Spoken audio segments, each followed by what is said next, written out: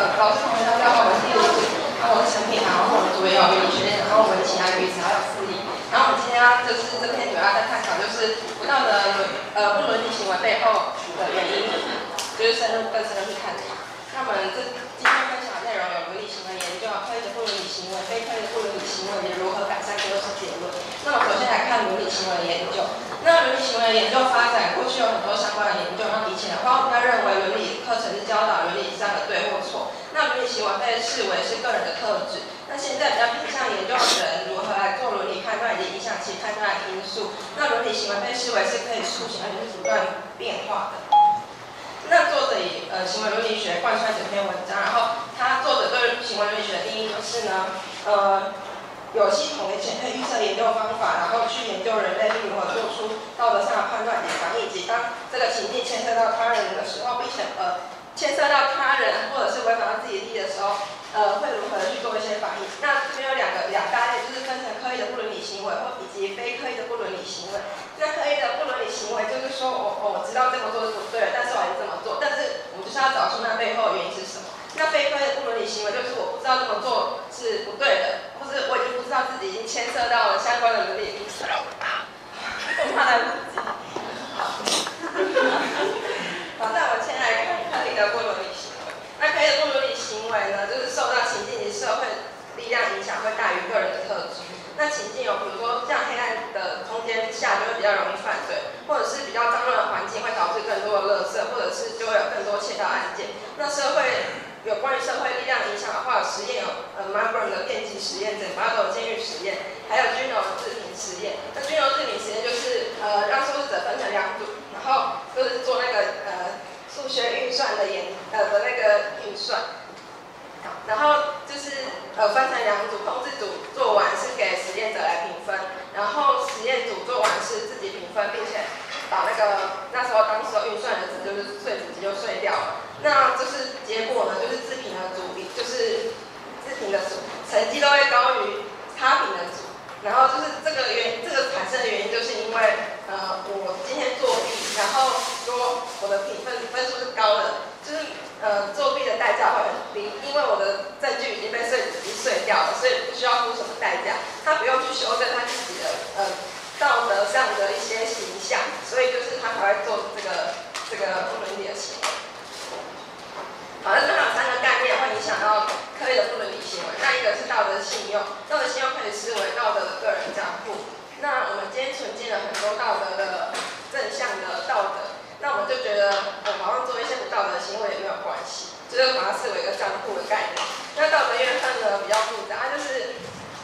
呃，在一个情境下，有人不愿意同流合污，那那些愿意同流合污的人会表示比较多的怨恨在那些。不愿意同流合污的人身上，就他会刻意的去贬低那些不愿意同流合污的人，对，这是可以的，刻意的就是去贬低他们。那道德虚伪呢，就是人们都想表现的道德，可是又不愿意承担道德所要付出的代价，就是在这个社会相处过程都会有个双重的标准。那非刻意的不伦行为有三个原因，就是有限的理论跟存在中间媒介以及以知觉做决定，都会影响到非刻意的不理行为。那有限的伦理呢，就是我们会不自觉的去偏袒自身团体的成员，或者过度邀功，或是一些其他的不伦理行为，我们都没有去察觉到。原因就是因为有限的伦理，所以我们没有去察觉。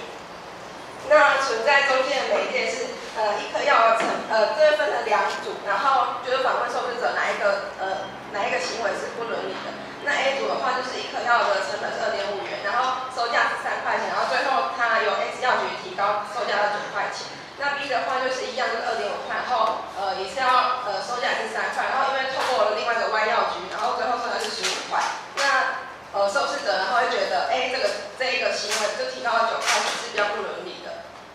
原因是因为 B 的话它有透过一个中间媒介，就是外药局，所以就是人们就会忽略了这个中间的行为。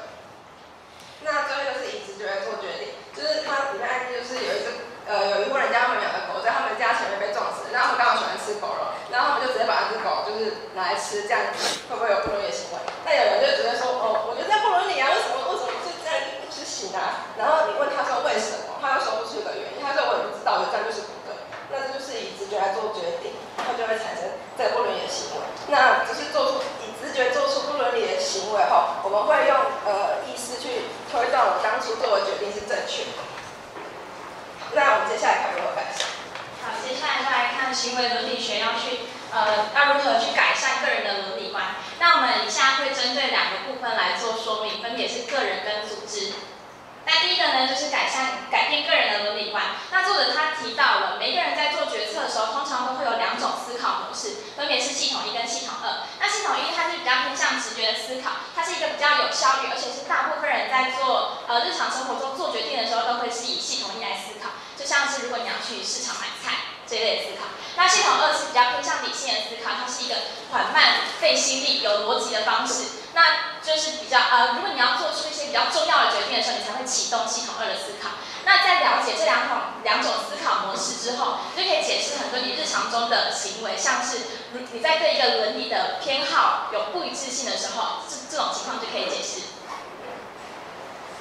那呃。作作者提到的一个例子呢，是在金融危机发生的时候，势必是有一群人他是做出了违法、不符合伦理的事情，才会引发金融危机的产生。那同时背后也有另外一群人，他是呃，他是也对，也是这个金融危机的帮凶的，只是他可能不知道自己正在做错误的事情，或是他在一个社，他不知道自己在正在处于一个社会的压力跟情境，是会把他脱离社呃伦理的范畴的。那我们就知道，通过呃思维模式的转换，是可以影响人去做一些比较符合伦理的决策的。那接着就来谈改变政策，在 paper 里面，呃，作者也提到了一个例子，是公司呢，它都会请第三方的独立呃的审计机构去审核公司的财务状况。那这个第三方的审计机构呢，就必须要对公司的债权人跟股东保持呃忠诚，但并不是所有的审计人员他都是完全的独立的。受到一些诱因，像是他可以把他的资讯卖给他的客户去牟利。那这样子的情况下，利益冲突就发生了。他必须要对公司保持忠诚，但他同时有一些诱因去让他的客户开心。那我们就可以了解到，呃，利益冲突呢，通常都是在做对的事情跟做对自己有利的事情之间的一个挣扎。那利益冲突它通常通常是非常的呃不是很明显的，是有点隐晦的，所以连当事人他可能也不知道自己正在。呃，他的行为受到利益的诱惑，所以身为呃，我们呢就应在了解到对方会有一些心理因素去做出不符合伦理的行为时，我们就应该警惕。那呃，组织的政策制定人呢，像刚刚提到，他们在警觉到呃利益冲突是。不明显的时候，他们是可以透过制定政策去干预呃员工看待问题的方式的，进而去影响员工去做出更符合伦理的决策。那简单的做一个结论，呃，所有人都是有可能做出不符合伦理的行为，这是再正常不过的。那作者他强调呢，是应该我们应该把自己的过去的行为跟我们理想中的表现去做一个比较。那检视我们其中的伦理的缺失跟不一致性之后，再去呃思考自己对于伦理的渴望，还有自己可以做得到的事情，那去做一个反思后自己推荐的行为，大概是这样。OK，谢谢。